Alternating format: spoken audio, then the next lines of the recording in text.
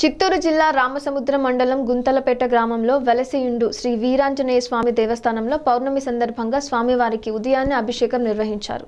ప్రత్యేక పూజలు నిర్వహించారు. అలాగే అన్నదాన కార్యక్రమాన్ని నిర్వహించారు.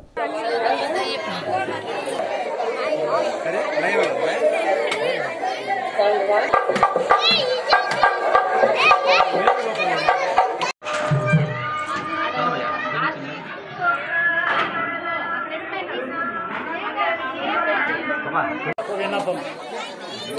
కొందలపేట గ్రామం రామసముద్రం మండలంలో వెలసి ఉన్న శ్రీ శ్రీ వీరాంజనేయ స్వామి దేవాలయం నందు జీర్ణోద్ధరణ గావించి దేవాలయాన్ని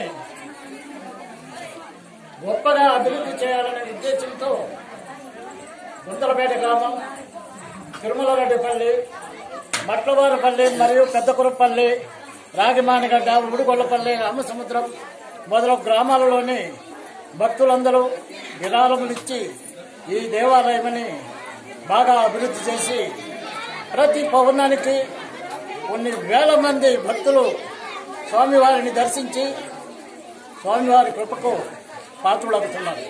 ముఖ్యంగా చెప్పాలంటే వ్యాధులు.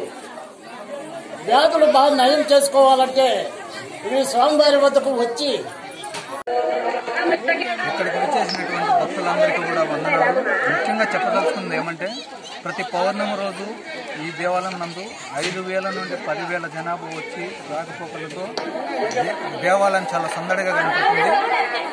వీరాంజనేయ స్వామి దేవాలయం చాలా సందడిగా కనపడుతుంది. ఒక రెండు నెలలు మూడు నెలల కాలం నుంచి చాలా పురాతనమైనది. పురాతనంగా ఉన్న దేవాలయం చాలా రెండు నెలల కాలం నుండి అభివృద్ధి అవుతున్నది. ఈ అభివృద్ధి చూసి చుట్టుపక్కల గ్రామాల్లో ఉన్నటువంటి భక్తులు అందరూ కూడా కానీ ఉత్సాహంతో ఉరకలేస్తూ దేవాలయం వద్దకు వస్తున్నారు. ప్రతి పౌర్ణమి రోజు ఇక్కడ అన్నదానం జరుగుతున్నది. ఈ అన్నదాన కార్యక్రమంలో కానీ ఒక ఐదు వేల నుండి ఏడు వేల ఎనిమిది వేల